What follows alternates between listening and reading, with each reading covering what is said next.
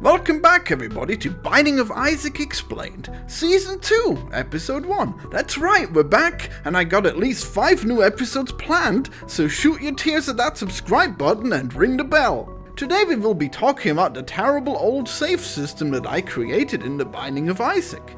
The original Binding of Isaac is a Flash game, and Flash doesn't have a very good way to save files. So what we used back in the day was Flash cookies to save things. They work in a similar way to browser cookies which allow you to store some information somewhere on your computer. It works pretty simple in Flash, you can just make a Flash cookie object and then you can use a function to write into it or read variables out of it. And that worked well of course, until you make the mistake of downloading one of those stupid computer cleaning programs. Delete your unnecessary files now that slow down your computer. Now don't delete those, those are the Binding of Isaac save files, what are you doing? So soon after the release we had reports of people losing their progress in mysterious ways. So I had to find a solution to fix the issue, and fast. I can't expect people to stop using PC cleaners, can I? There was once a flash game called You Live Only Once, where you actually die one time and then the game refuses to let you respawn. And when you tried to open it in a new window or you restarted your browser, it would still remember and it would show you the increasingly sad scenes of Mario's funeral and such. That was such a fun game. Oh and look, the game also had an FPS counter that you can't hide, just like Isaac did when it first came out.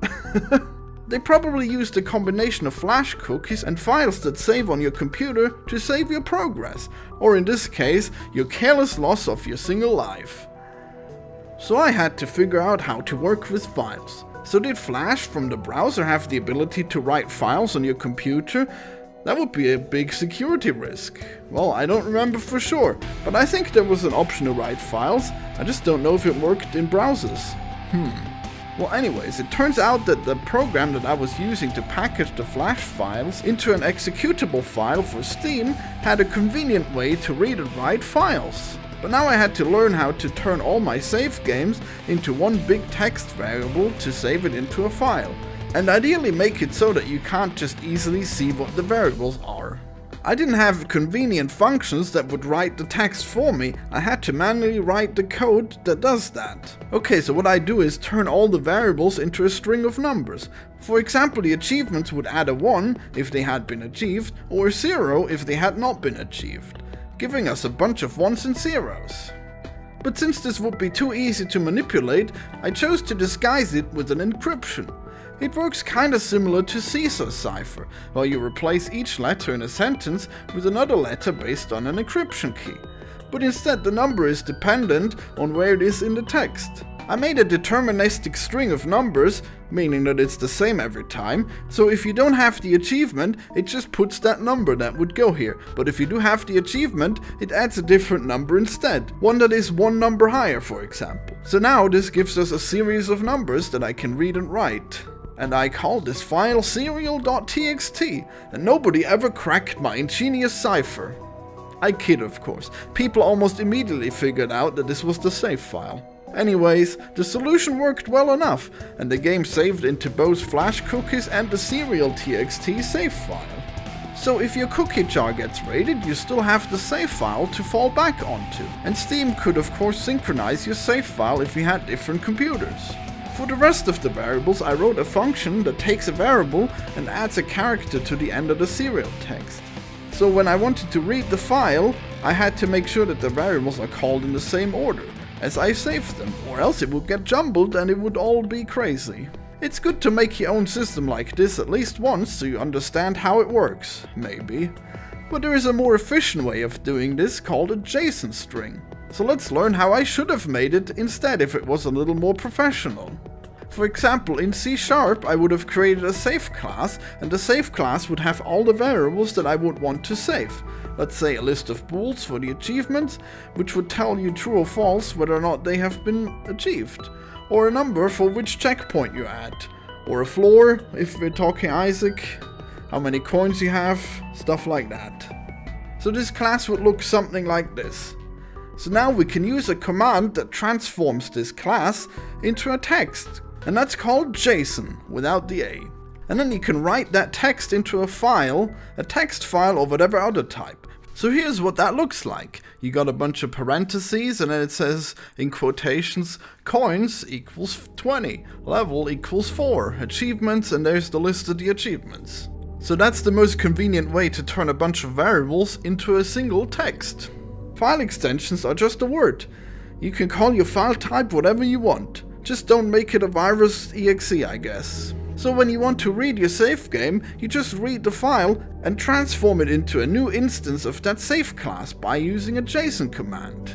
If you want, you can encrypt your files before saving them and decrypting after loading them, using a Caesar cipher of your own, or something more complex if you want. But in my experience, any game that's sufficiently popular, there is no encryption that will stop people from messing with your files. Best to just save them in the most efficient way anyways and then you need to pick a spot for where you want the files to go. Each engine will have a different place where it puts the save files by default. In Isaac I just put it in the same folder where the Isaac exe was stored. But in Unity you might have some, some space for it in, in the app data that's hidden on your computer somewhere, where it's safe. Anyways, let's look at the JSON text again. Naturally, converting your data into a text block is not the most efficient way of doing it when it comes to hard drive space. If you have it say true or false in a text that's 4 characters, that would add up to 32 bits. If you just say true or false, that's called a bool and it takes a single bit of memory. that would be better. So if you specifically have a lot of booleans in your JSON file, that would be pretty inefficient. But it won't matter, it's just a text file and those rarely reach up to 1 KB, which is nothing compared to the file size of a, of a texture or an audio file. And that's why I would suggest using JSON as much as you can for your save files, it's just convenient. Anyways, the original Isaac had no way to save your game during a run.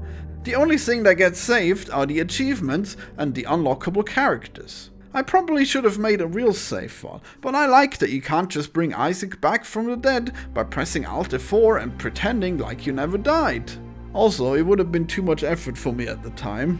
I should have had a seeded level generation as well that produces the same level every time, so you don't get a randomized level each time you reload. In Rebirth it saves at the start of each floor and that's probably a good time to save. But honestly, how often do you continue a run? I usually just click New Run. In order to save your run, you'd have to save a lot of information. A list of the levels that you've been on so far, which level you're on right now, a list of bosses you've fought so you don't have to fight the same bosses again, a list of items that you've had, it also has a different list for items that you've seen that you'd also want to save, how much HP and max HP you had, how many blue hearts, how many eternal hearts you've converted to health.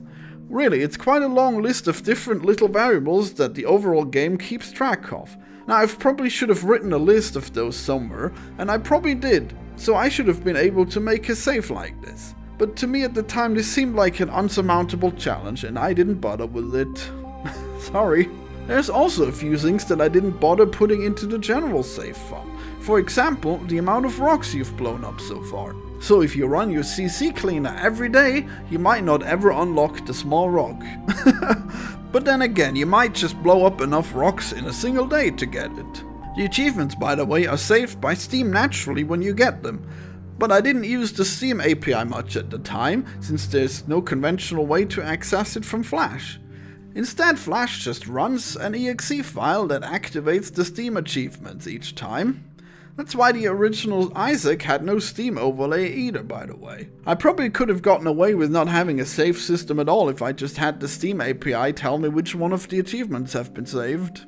But anyways, we did store the achievements in the save file. The achievements really are the most important thing about Isaac, because each achievement unlocks different stuff.